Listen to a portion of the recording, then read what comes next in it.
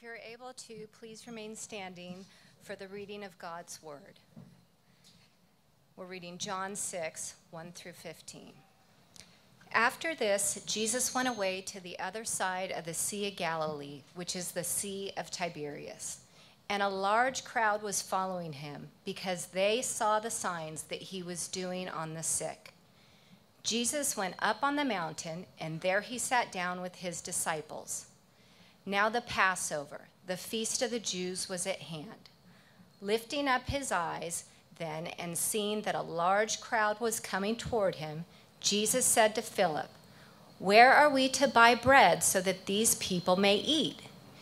He said this to test him, for he himself knew what he would do. Philip answered him, Two hundred denarii worth of bread would not be enough for each of them to get a little. One of his disciples, Andrew, Simon Peter's brother, said to him, There is a boy here who has five barley loaves and two fish but what are they for so many? Jesus said, Have the people sit down. Now there was much grass in the place, so the men sat down, about 5,000 in number.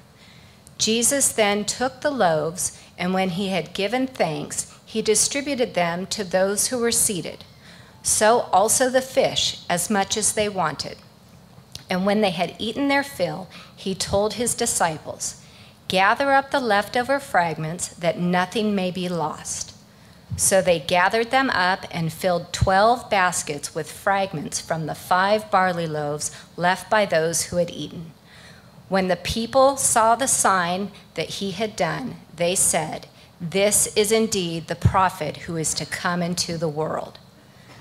Perceiving then that they were about to come and take him by force to make him king, Jesus withdrew again to the mountain by himself.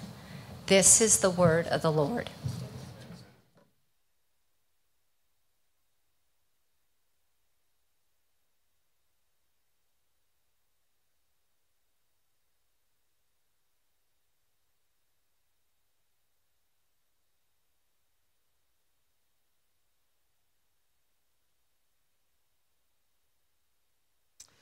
All right, good morning. Good morning. Good morning. If you are online, then welcome to our online uh, worship gathering. If you're here in person, then we're glad that you're here as well. Uh, this morning, we are going to be in John chapter 6 in the passage that Jenny just read. And um, it's a great passage. If you're online, then let us know that you're there. It'd be great to know where you're from. And uh, if you have any prayer requests, then let us know. And so this morning in John 6, the title of the message is bread giver or king? Bread giver or king? So let's pray. Father, thank you again for your word. Uh, today, we open it up and we ask that your Holy Spirit would help us to understand, help us to receive it. God, we come with so many different, um, so many different thoughts during this past week. Lord, whether they're burdens we're carrying or things that we're excited about or wanting to know your direction or for some people just wanting to know who you are. So, God, I pray that you would meet us right where we are and that you would speak to us. And God, we pray that your Holy Spirit would lead us unto all truth. In Jesus' name, amen. Amen. Um, you know, I was thinking about this uh, this this week that we have this narrow gate. Uh, narrow is the gate, and, and the way is hard that leads to life. And there are those who find it are few. And it seems like in our world today that there's this kind of philosophy that uh, it's a broad way, any way that you want to, you're going to end up at God. However, you want to seek Him, whatever you want to do, it's all going to end up in the same place. And really, that is so contradictory to the way of Jesus, who teaches that the gate is narrow, the way is hard that leads to life, and those who find it are few. So, I, have been thinking about how we live in a culture right now where there are so many different things that are competing, voices that are competing for our, our souls, for our attention, for worship. And um, I'm, I'm, blessed that in the midst of uh, Santa Cruz County, which uh, is a, a, spiritual but not religious county, it's a county where it's kind of like, hey, do whatever you want to do, and it'll go, you know, like uh, whatever you want to think. That's your own spirituality, and you could kind of create the God that you want. uh, just recently there was something called the Regeneration Project. I'm glad that it's called that. Uh, they were meeting over at, at uh, Westgate in Saratoga, and uh, Daniel went on Friday night, and it, the, it was is reading the Bible the fastest way to lose your faith. What they had there is they had two people in a debate, and uh, it was an atheist who was a Christian that became an atheist by reading the Bible. Got confused over many things that this person read. He, he realized that in church, they wouldn't really cover these things. They really didn't cover a lot of the Bible. So, so then when he started reading the Bible for himself, he started feeling like, wow, this is kind of crazy. But then uh, he was debating a woman who was an atheist. And she became a Christian because she read the Bible. And as she kept reading the Bible and studying scripture and seeing are these things true, she became a follower of Jesus. And so I'm thankful for this dialogue between this atheist and Christian. And, you know, Daniel was telling me it really helped strengthen his faith. You know, people ask these questions Isn't the Bible pro slavery and violence and uh, misogyny and anti science? And I think that what you'll see at times is that people read the Bible in ways that are not helpful because they're just looking for parts, just little parts here and there, and how they could make an amalgamation of what they want to believe. Uh, this Saturday at Twin Lakes Church, there is a, a conference called uh, the Bible Conference. And there are some speakers. Uh, Gerry Breshears, who is my professor at Western, is going to be there. Um, they're going to talk about a lot of different uh, topics, so you could sign up online. That is coming on Saturday. And I, I, I was thinking about this. I was talking to someone recently. For every mile of road, if the way is narrow, as Jesus says, for every mile of road, this is not a Bible verse, by the way, this is just a, a proverb that is really cool and very true. For every mile of road, there is two miles of ditch. Okay, for every road, there's two miles of ditch. And I think as a Christian, following the way of Jesus, what are some of the ditches that we could fall into on either side of things? Sometimes I think about um, the ditches. Am, am, I behind on this? There it is. Um, there are political ditches. You know, sometimes it's like, hey, uh, we're, we're, we're going to follow this way or that way, and it's all about politics. Sometimes it's the ditch of all about head knowledge and growing in knowledge, but not the heart. Sometimes it's the ditch of emotionalism without being theologically and biblically grounded.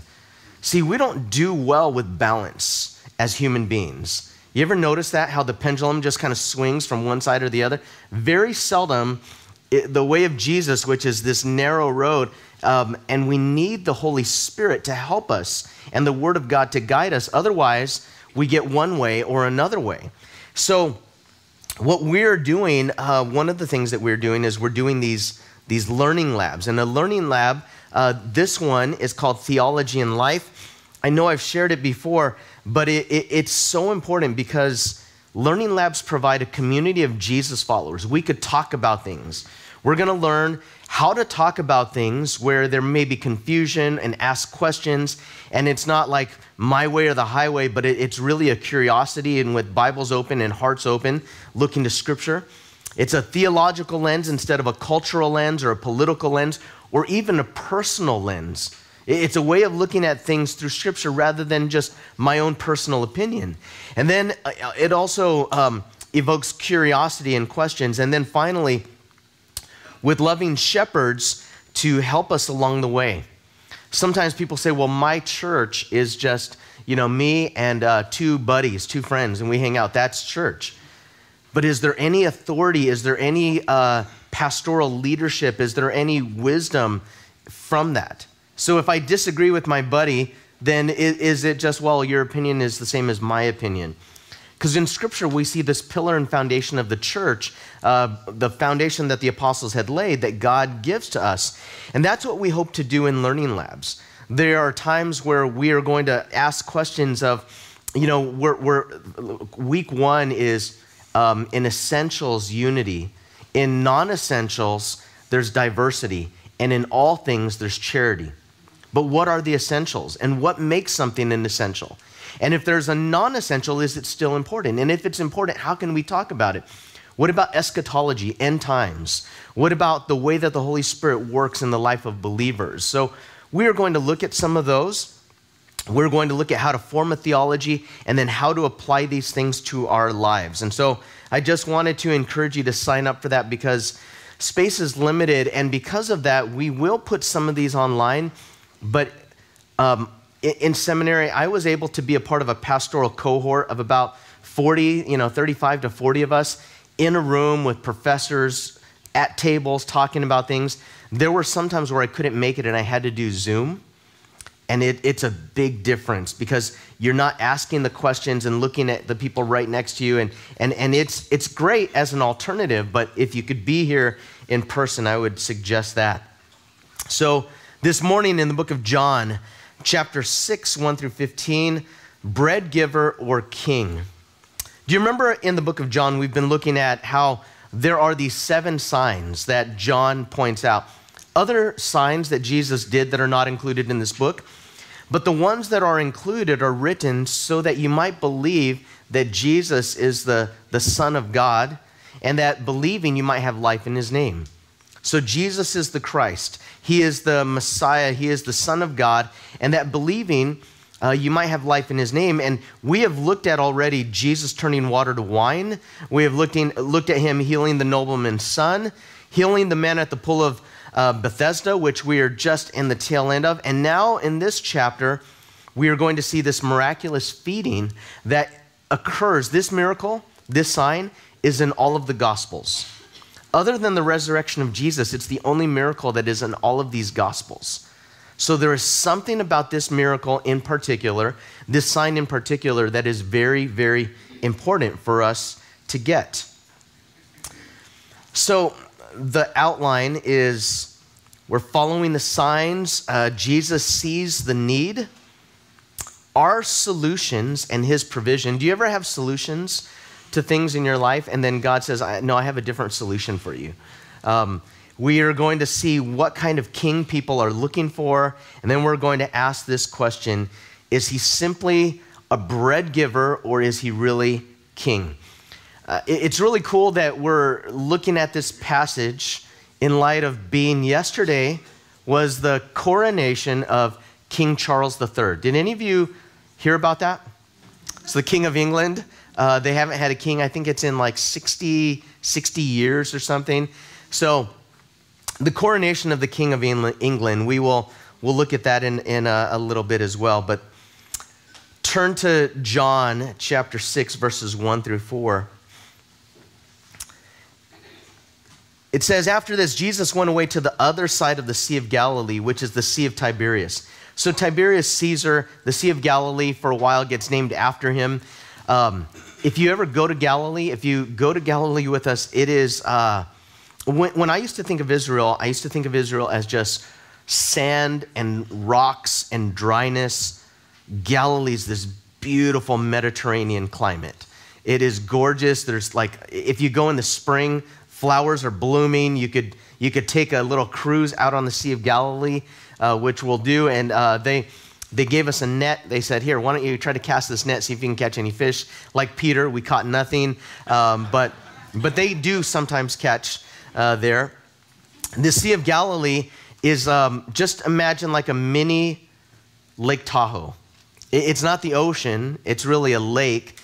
And uh, Jesus is with the disciples and they are going over to one of the sides, the other side of the Sea of Galilee. But from the size of this lake, you could actually see, okay, where's he going? And just imagine like paparazzi. Like they're following him around. There he is, there he is. Okay, he's over there. And then they, they run around the lake. They get to that place waiting for Jesus and the disciples to get there. And this large crowd is following him because they saw signs that he was doing on the sick. So he was healing people and they're saying, wow, look at what he's doing, and, and let's follow him. And, and they, they want to see Jesus, this healer, and, and that's understandable. I don't fault them for that. They wanted to find out who he was. They, they saw some of the miracles, some of the things that he had done. And um, Jesus went up on the mountain, and there he sat down with his disciples. But again, they could see where he was, so they follow him. They get there, this large crowd, and the Passover, the feast of the Jews, was at hand. So this is um, either previous to or just after this Passover feast, and Jesus is there. And then it goes on uh, to say, that lifting up his eyes and seeing that a large crowd was coming toward him, Jesus said to Philip, Where are we to buy bread so that these people may eat? He said this to test him, for he himself knew what he would do. Now, uh, according to other sources, this uh, was likely Philip's hometown. Okay, Philip is from this area. So, Philip, you know the stores. Like, where do we get bread for all of these people? So, imagine if there are, there, there's this incredible multitude of people, this large crowd. And I love this. It, it's a simple phrase that says, Jesus lifting up his eyes. He lifted up his eyes and he saw. You know, at times in Scripture, it says that Jesus saw the crowds as sheep without a shepherd. So, too often when I see a crowd, all I see is a crowd. When I see a line, all I see is a line. We're, we're going to have bread today. We are going to not only have communion, but there's an agape feast, a, a place for you to eat and hang out, and there's a line. And you're going to see a line of people. Instead of seeing people as just, oh, there's a long line, Jesus sees people and he sees their need. Uh, I, I, started to pray when, when, I was down in LA. I used to teach, and uh, the the traffic there. I mean, we have traffic on Highway One here, right? If you get to the fish hook at like three o'clock in the afternoon, forget it, right? You're going towards Watsonville, and, and sometimes I still get frust- frustrated with that. But that is nothing like the traffic in LA on 405 freeway or 57 freeway and you're just sitting there and you just see this massive group of people in traffic. And I remember when I was uh, seeing people in traffic, I started to pray, God, help me to see people as sheep without a shepherd. So I'm, I'm driving past people and I'm wondering what they're going through. And I'm, I'm looking at them. I'm trying to have that attitude. I, I will admit that that didn't always work. Uh, there was this one time when I was sitting in traffic. I mean, it wasn't stop and go traffic, it was just stop traffic. Nobody's moving and I'm in the right hand lane, and, and my exit is just a couple of miles down the road. And I look in my mirror, I see this car pull out on the shoulder of the road and just pass me. And of course, after that car does that, what does every car do? I see all of these cars, and they just all get out and they just start passing. And, and I'm getting frustrated because I'm, I'm waiting in line. I'm doing things the right way. This is how you're supposed to be. And everyone is passing me, and I'm thinking, well, should I go there? I don't want to get a ticket. I shouldn't do that. But I don't want these people to get ahead of me. So what I do with my car is I pull out my car halfway into my lane and halfway into that lane. That's just the kind of person I am. And then I start to see these cars pile up behind me, and I look, and then they're honking and they're yelling, and the people on this side are cheering and they're honking. And I'm like, yeah, I stopped this traffic. I stopped them. So I, I definitely was not seeing them as sheep without a, a shepherd. But Jesus sees a large crowd and he thinks about them being hungry. He, he actually thinks about their needs. But then he asks Philip, Hey, Philip, I love how Jesus says, He asked this question, we. Hey, where are we? Where are we going to buy bread? And sometimes God will show you a need. And, and when He shows me a need, sometimes I just think, It's all on me. How can I meet this need? How can I do this? And, and I forget that Jesus, when He shows us a need that He wants us to do something about, it's a we. What are we going to do about this? Because me plus God is like, that's a majority, right? Me plus God, I have, I have some provision and some help and some strength. But he says, Where are we to buy bread so these people may eat? But notice that when Jesus said this, Jesus himself knew what he would do. Sometimes when God shows you a problem or a dilemma or some area where there's a need, he already knows what he's going to do. I don't know, but he knows. And sometimes in my prayers, I start to panic as though He doesn't know. Um, sometimes when people panic over things that are no big deal, I, get impatient. When people are freaked out about things. Uh, when Rebecca, our oldest daughter, when she was a, a kid, um, we were in our front yard and uh, we the the sprinklers, you know, were uh, the runoff from the grass was along the sidewalk. And there was maybe a foot, a foot of water, maybe, maybe two feet. And she was probably four years old or something. And we were walking on the sidewalk, and she says, Dad, come get me. And I said, No, jump over that. And she goes, no, if I jump over it, I'll slip. And I go, you won't slip. It's okay, just jump over it. I was just, just trying to teach her to just jump over this little puddle of water. And she says, I'm going to slip. I said, You're not going to slip. You're going to be fine. And then she goes, If I jump, will you catch me? I go, Sure. But when she jumps, instead of looking at me, she looks down at the ground. If you're a, a, long jump coach, like I was, you know that where your eyes go, your body goes. And she looks down and she hits the end of the water and she slips and she falls down. And she goes, See, I told you, I told you I was going to slip. So then I, I, pick her up. And, and sometimes in her panic of things, um, I would feel, I would want to be the calm one. Like if, if I'm calm, then she should be okay. But there are times when, in my panic, I pray these prayers that are so panicked as though God is panicking. Like, God, what are we going to do about this? And I kind of freak out about things like, look at this situation that I'm going through. What, what, what's going to happen? Or if you're praying for someone and you're, you're, you're bringing that need before the Lord, which is a real need, there are too many times that I pray to God as though He is also confused as though he also doesn't have enough money or enough strength or enough help or enough comfort. So Jesus knew what he was going to do. And then uh, Philip answered, he said, Well, at, at least he gave an answer. He said, 200 denarii worth of bread would not be enough for each one of them, even to get a little. Um, a denarii would be a day's wages. Even if we had 200 days' wages, it's not enough money to feed all of these people this great multitude. So he, he brings this need to Jesus. He gives his solution. He's like, We don't even have enough money. But then one of his disciples, Andrew, Simon Peter's brother, said to him, Well, there's a boy who has five barley loaves and two fish, but what are they for so many? Sometimes in the provision that God gives, I, I compare using um, my own worldly, my own human uh, mathematics. Like, what is, what is my ability amongst so many needs? What are our, our ability? Sometimes I think about Santa Cruz County, and I think about um, reaching people in this county, and I think about even the churches when we're gathered together. So few compared to so many. But I think that when we do that, again, we're calculating based on self. And I don't blame Philip and Andrew. I mean, he at least brings the solution. He says, What are they for so many? So this boy is here. He has five barley loaves and two fish. He must have been a Boy Scout. Uh, he is uh, always prepared. You know, he's the one that, that brings some food, some provision for the day. And then um, Jesus does something. It says that Jesus said, Have the people sit down. So they're trying to calm everyone down. Uh, if you've seen this depicted in The Chosen, this is such a cool, such a cool scene.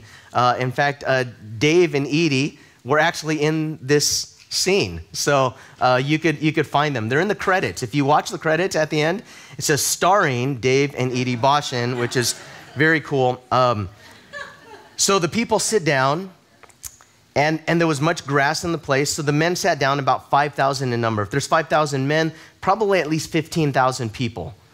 Uh, Scotts Valley is like 12,000 people. So feeding a city of people that are following him. And, and uh, this is an area called the Decapolis, which means like 10 cities. And all these cities, they gather together. The rumor mill, no social media, they're not they're not doing geolocation tagging. It's just they're, they're telling people Jesus is here. Word gets out, and they all come to see him. They follow him, and they're all there, you know, and 5,000 in number of men, so maybe 15, 20,000 people. Then Jesus took the loaves, and when he had given thanks, he distributed them to those who were seated, so also the fish, as much as they wanted. I've read this story too many times sometimes where it could lose some of the power of it unless I pray that God gives me that sanctified imagination. But what did this look like? Like, I, I don't understand what this looks like. And that's what I love to, I, I try to picture it in my mind. Is, is it like every time he, he tears the bread that it grows? and then he tears more bread is it that the loaves just start to multiply in the back? It, it's he takes them, and when he gives thanks, this happens. I, I think about Jesus giving thanks. As he gives thanks here, uh, the, the traditional Jewish prayer, Blessed are you, Lord God, King of the universe, who brings forth bread from the earth. Except now it's not coming from the earth, it's coming from this bread giver, Jesus himself, the bread of life. He's multiplying it somehow. And with the fish. And I, I, I just, man, I, I wish I had a replay button and I could see what this looks like. But just imagine the joy and the laughter.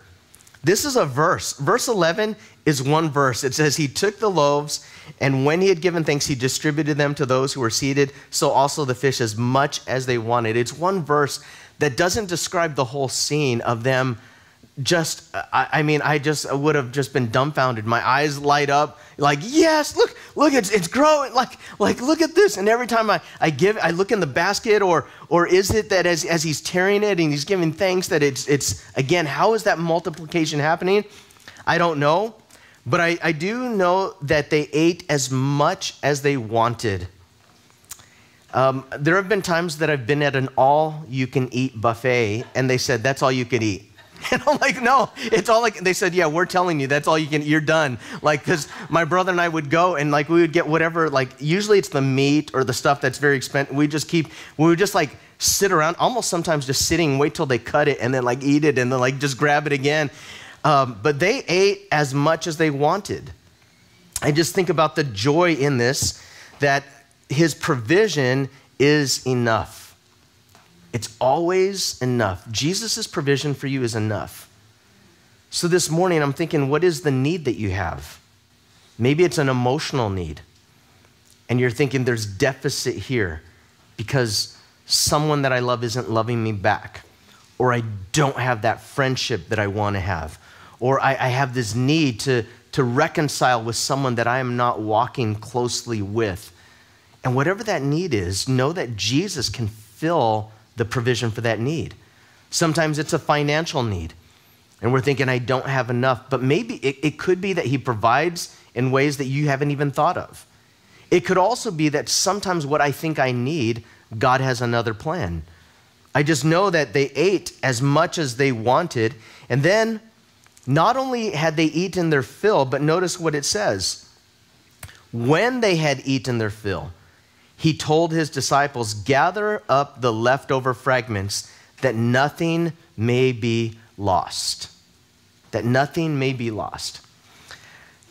Man, I miss, I really miss my mom. Uh, we, we used to go to, do any of you remember a place called Hometown Buffet? Okay.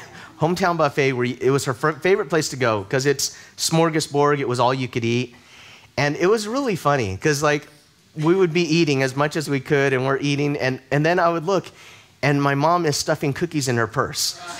She's wrapping them up in napkins, she's like putting the, the cookies in her purse. It was great. I'm like, Mom, what are you doing? She's like, oh, shh. And, and that's so unlike her, but like she would go to all you could eat, and, and she wanted the fragments that remain. Hey, these are gonna be lost. They're on my plate. They're gonna throw them away anyway, right? So if they're going to throw them away, we might as well take them. And so I, I, I look at Jesus, the disciples who are thinking, we don't have enough money. We have five barley loaves from this boy and, and you know, a couple of fish, and that's not enough. We have like some bagels and fish sticks. like, like here, here's my lunch bag. I'll share it with you guys. And, uh, and, and yet, what, what do they do? Jesus says, gather the leftover fragments and they gathered them up, and what did they fill? 12 baskets. There are 12 apostles, and every single one of them has a basket. Jesus always has enough, but not just enough. Sometimes we, we sing that song, Your Grace is Enough. Have you guys remember that song, Your Grace is Enough? And, and yet, the word enough, it doesn't uh, convey abundance. Jesus' grace is way more than just enough, it's abundant he blesses me not only with my needs, but there are times when I'm just like blown away at God's provision, at his blessings, him taking care of us, him giving more than we need. And I'm just going like, I, I don't, sometimes we ask this question, why me? And sometimes that's the question that keeps people from really following Jesus. They get a flat tire on the way to a job interview. They're on the side of the freeway and like, I was gonna, and God, why me? But do we say, God, why me when God blesses us? So sometimes when God blesses me, I'm like, God, why me? Like I don't even I don't deserve this. God, why me? Like you're blessing me so much that I don't deserve and I know I don't deserve this. And I think that that should be the the why me that we ask. Like God, why me? Like you chose me, you saved me, you've forgiven me, then you bless me and you take care of me. And even if you're going through hard times, I'm not doubting that you're going through difficulties or that the pain and the trauma maybe that you've been through is real. But you listening to this message is also God telling you that He loves you and He's taking care of you. He's reminding you of something today. Us being here, us having the Word of God, us having a place to go, having the ability to watch online, all of these things are God's provision. And sometimes I miss God's provision because my focus is on my lack. I miss God's provision because I am looking at the wrong things sometimes. And I'm measuring whether or not God loves me because of this thing that I'm lacking, rather than saying, I'm looking to the cross that Jesus died for my sins. I'm looking at his blessings in my life. I'm looking at him taking care of me. They gathered them up, the 12 uh, baskets with the fragments from the five barley loaves left by those who had eaten. Um, I, I, I, think that that's really cool also because sometimes when I'm at a restaurant and I look at what people don't eat, I want to ask them, Are you going to eat that? Like, you're, you haven't touched that, and that you haven't even, and like, that's, that's still good. Uh, if you work food service, I used to work at a, a nice restaurant called the Velvet Turtle, and I, I hated if I didn't have a chance to eat before my shift because I am taking the, the food out to them and I'm looking at it. Then when I'm taking the food out to the back, I'm looking at it thinking like I should just eat all this food right now. It looks looks so good. But they were able to do that. They they gathered the fragments, the fragments, uh, those who had eaten. And then it goes on and it says this. When the people saw the sign that he had done, so they, they saw this.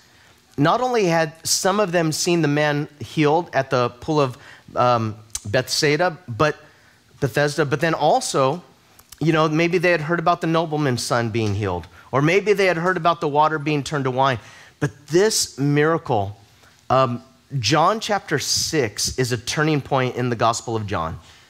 As we go through John 6, this is a, a long chapter, over 70 verses. So that's why we're breaking this chapter up.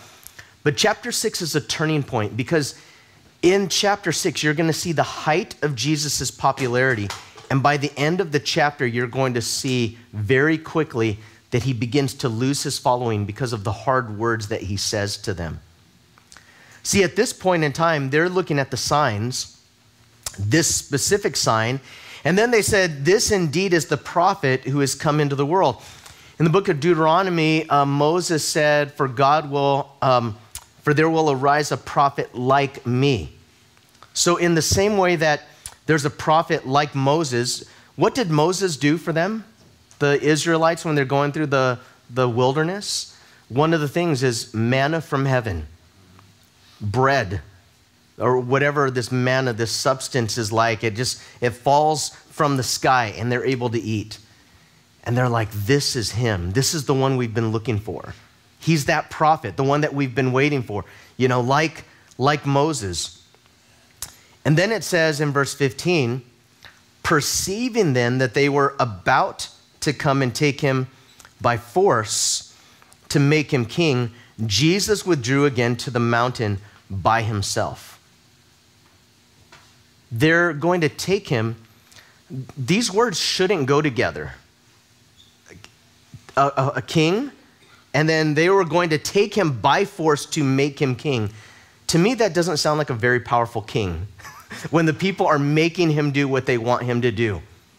We are going to take him by force and we are going to make him by king. And Jesus will have none of it. He came, Jesus is king, he's king of the universe. But when they try to force him to, to make him the king, he withdraws again to the mountain by himself. Uh, there was a, there was a, a, Roman named Juvenal. I don't know where, if, if that's where we get juvenile delinquent, but Juvenal was his name. And he has that famous saying give them bread and circuses, and they will never revolt. So when the Romans start to take over, they have the gladiator wars. Entertain them, give them something to focus on. And by the way, entertainment, we have to be careful. Um, God gives us gifts of music and art and, and, and story and all of these things, but entertainment can often be a way to numb us to our real need. It could be a way to drown out our sorrows. It, it could become escapism. It could be a way to, like an ostrich, bury our head in the sand and not worry about any of the problems that are going on around us because it's just easier to entertain ourselves. And then, if you give them bread, he said, if you provide physically for them, that you give them tax refunds or uh, credits or uh, stimulus packages, entertain them, they're not really going to think about the real needs that are there.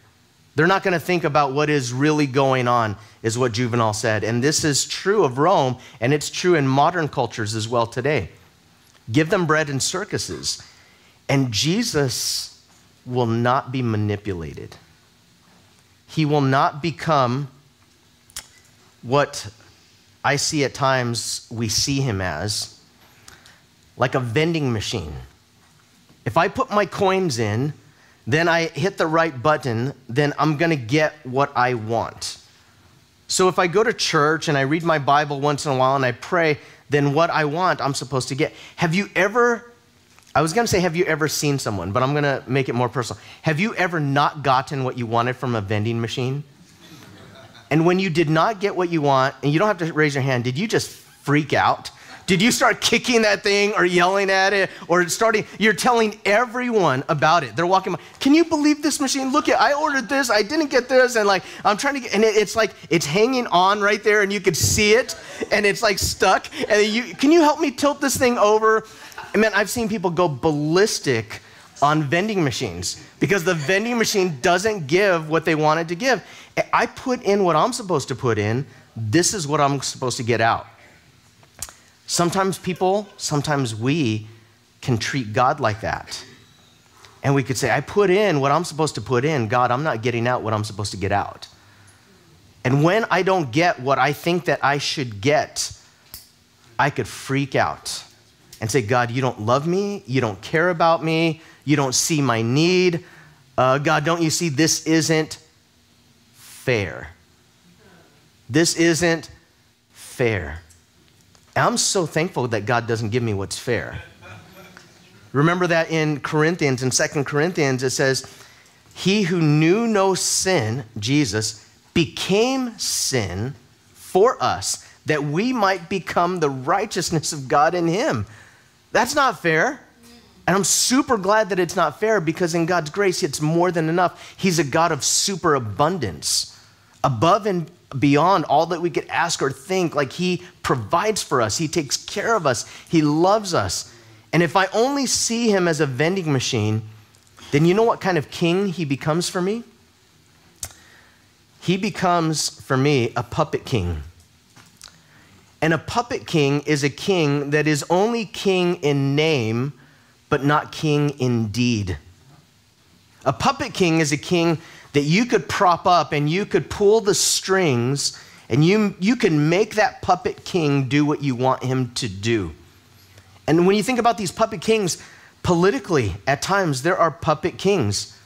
They could be puppet governors or puppet mayors or puppet, puppet presidents.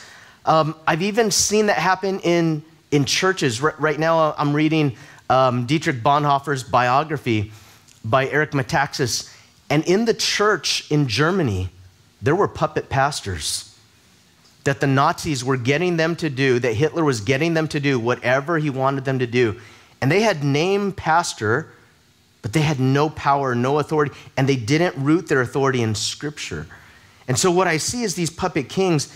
Now, I'm not saying that yesterday's coronation of King Charles III is necessarily puppet king, but I am saying this the King of England doesn't have power like the King of England used to have power. There is a whole lot of pomp and circumstance, it's a lot of ceremony, but you have this parliament and you have a prime minister that really has more political power than the king. And this king, it, it, it, it's crazy to me. As the world uh, watched yesterday, um, I, I, was reading about how many heads of state were there. Uh, like uh, the first lady was there, and, and there were presidents, you know, the president of France, different people were there. They were invited into this exclusive, um, you know, coronation of King Charles. And, and another thing about King Charles, uh, he had said earlier, years ago, that instead, because the King of England, I don't know if you know this, uh, one of his titles is the defender of the faith of Christianity, upholding the gospel of Jesus Christ.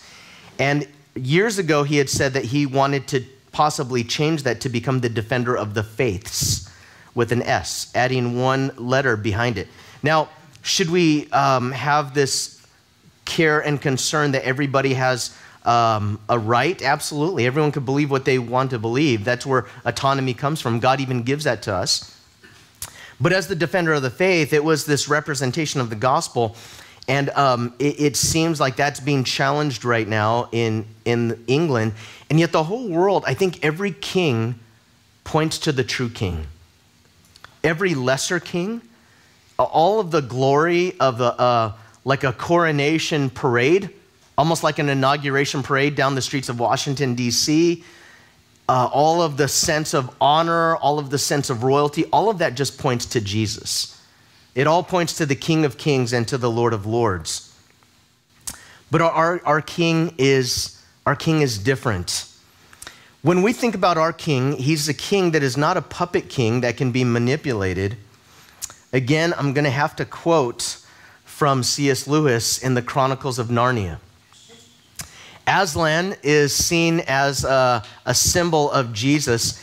Some people see Jesus not as King of Kings, like a king, like a lion, king of the jungle, but more like uh, when I was the principal of Calvary Chapel Academy in San Jose, our mascot was the lion of the tribe of Judah. So we were the Calvary Chapel Lions. Sometimes a lion can just be a mascot. And what is a mascot? A mascot represents you. You like to be associated with a mascot, but the mascot is not your king. Sometimes Christians see Jesus as my mascot. He's my mascot. He, he represents me, I represent him. I'm associated with him, but not king. C.S. Lewis in the Chronicles of Narnia, in uh, the, the Lion, the Witch, and the Wardrobe, there's a part where um, there's a, a, a human, her name is Susan, and they call her a daughter of Eve, and she's learning about who Aslan is. She wants to find out who Aslan is. And Mr. Beaver, who is one of the characters in the Chronicles of Narnia, tells Susan that Aslan, the ruler of Narnia, is this great lion. And Susan is freaked out. A lion? I'm afraid of lions. And so she begins to ask this question since she assumed that Aslan was a man.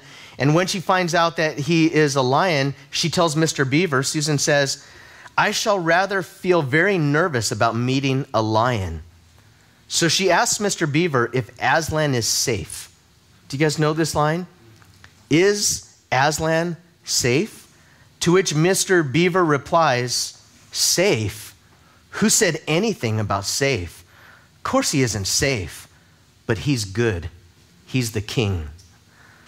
See, I love that because sometimes we want Jesus to be so safe that he's never going to call us to do something that is really hard. Um, when Bonhoeffer is challenging the pastors in Germany at the rise of Nazism, the rise of Hitler, he, at a pastor's conference, teaches from the book of Jeremiah. And as he's teaching from the book of Jeremiah, he says Jeremiah was God's prisoner. There were times that Jeremiah didn't want to do what God told him to do. And it says that when he held it in, the message that God gave to Jeremiah, which was repentance and turn towards God, when he held it in, he said it was like fire that it was shut up in my bones. And I was weary from holding it in. I, I had to do what God had called me to do. Paul says the love of Christ compels us or constrains us. God doesn't call us to easy lives. He hasn't promised that to follow Him, everything is going to work out. The arrow goes up and to the right. He doesn't promise it all goes up and to the right. He doesn't promise us that you're going to get the job and you're going to get the person that you, you want to marry and everything is going to work out in your life. See, when we follow Jesus, at times it's not safe. It wasn't safe for Paul the Apostle. In fact, Paul the Apostle, who preached the gospel, ended up being beheaded. Peter, who followed Jesus, ended up being crucified upside down. I, I could think of more modern people like uh, Jim Elliot, who, who went to Ecuador to reach a, a, a people that had never heard of Jesus, and he gets killed along with Nate Saint and the other missionaries that are there. Some of you are going to get fired from jobs, possibly because you're a follower of Jesus. Some of you will be canceled. Some of you will have friends that will pull away. Some of you won't get the position that you want. Do you realize that in the culture that we live in today, that when someone is put up for office or a judgeship or something, sometimes they want to find out, oh, this person is a Christian, and look at their background, look at what Christians believe, and they're almost saying you have to and, and in Germany, this is what they did they had to disavow. The cross was replaced by the swastika. That was a mandate. And some pastors went along with it. And they said, oh, this is one of those things where we could agree to disagree and we could all be in unity and harmony. The road to follow Jesus is very narrow. And there are ditches on both sides. And sometimes the ditch is we are against everyone. That's a ditch. If, if we follow Jesus as angry people that are against the world, we're in the wrong ditch. We're, we're in, a, in a ditch. We're not following the way. If we follow Jesus and say, okay, I'm following Jesus, but whatever you believe, all roads lead to God, and whatever you want to do is fine, and we could just, we're on the same path, then that's a ditch. See, to follow Jesus is, the, is to follow the King. Now, in a moment, we are going to partake of communion which is called the Lord's Supper. The king that we have invites us to his table. I was reading about how many people were invited to the actual coronation, which was a, a small group. Many people were there, but, but a smaller group was at uh, the Abbey, um, um, Westminster Abbey, where the, the king is coronated. And, and he still said, I, I believe he still said, defender of the faith. And I believe that he still talked about the gospel of Jesus Christ because Marcus Welby, not Marcus, uh, Justin Welby. Marcus Welby was a doctor on a TV show. Uh, Justin, Justin Welby is the, the head, the bishop of the Anglican Church or the, the Church of England at the time. So he says, defend the gospel. Um, but in that, in that coronation, I'm not invited. I, I'm not at that table. Only the exclusive very powerful, very wealthy, very prestigious people are invited to that table. But at Jesus' table, we're all invited. And we're invited to come as we are. We're invited to come with our brokenness. We're invited to come with what kind of a bad week did I have last week? You're still invited. What kind of a bad day did I have yesterday? How did I mess up so much and I just feel this weight or I just don't feel the faith, or I don't feel loved, or I, whatever that might be, come to the table. But as we partake with the king, I think it's important that we don't see him as the vending machine. Jesus is not the puppet king, he's the king of kings and the Lord of lords that invites us. So we're going to show uh, the way that we are going to partake of communion. We're going to show this quick uh, video, and we're just going to consider and I would just ask that you pray during this video that the Holy Spirit reminds you of who Jesus is as King of Kings. And then hold on to the elements, and we are going to partake together at the same time afterward. And so we're going to show this video.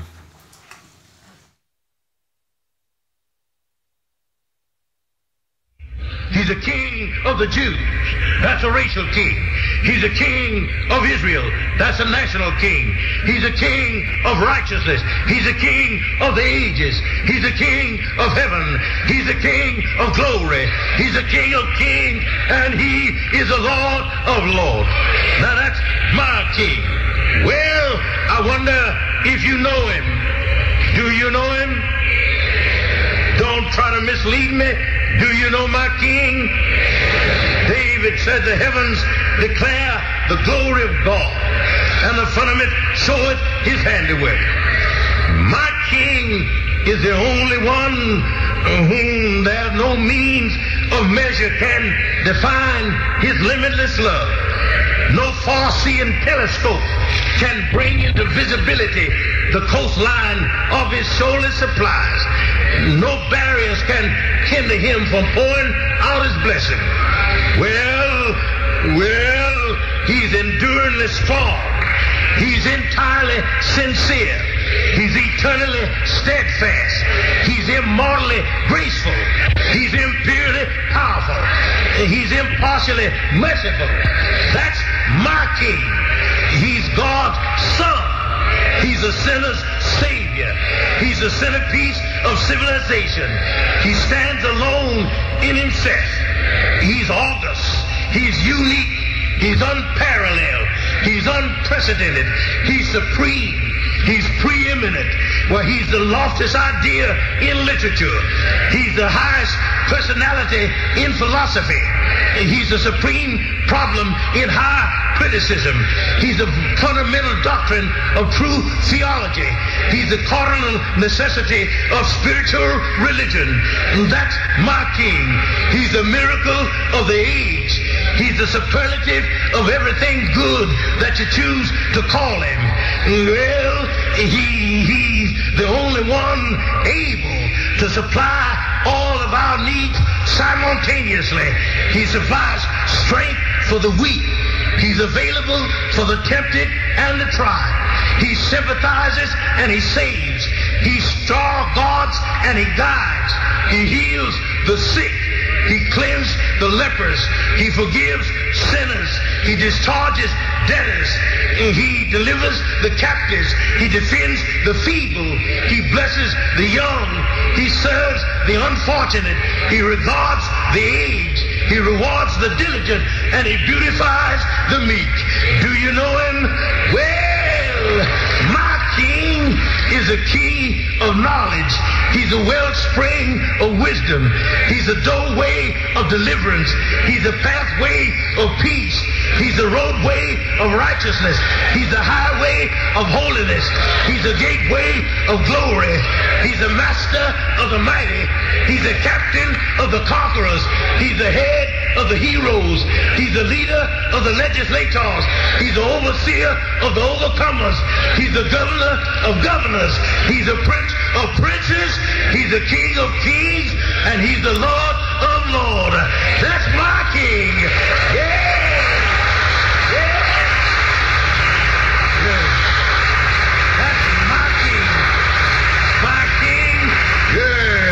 His office is manifold.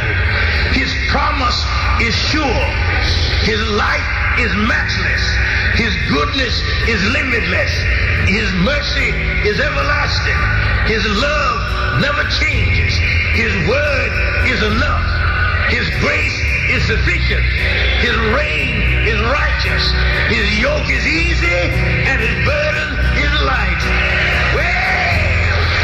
Wish I could describe him to you, but he, he's indescribable. He's indescribable. Yeah. He, he's incomprehensible. He's invincible. He's irresistible. I'm trying to tell you, the heavens of heavens cannot contain him, let alone a man explaining him. You can't get him out of your mind. You can't get him off of your head. You can't outlive him, and you can't live without him. Well, Pharisees couldn't stand him, but they found out they couldn't stop him. Pilate couldn't find any fault in him. The witnesses couldn't get their testimonies to agree. Herod couldn't kill him. Death couldn't handle him, and the grave couldn't hold him. That's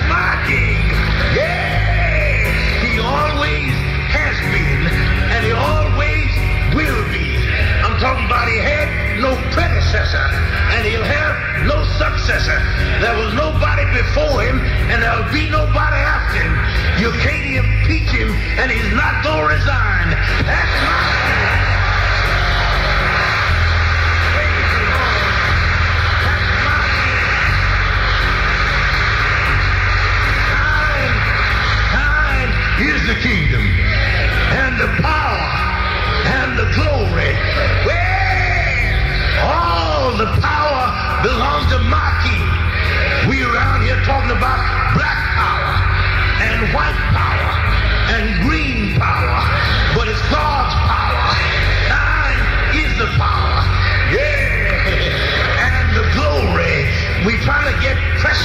and honor and glory for ourselves, but the glory is all his. Yes.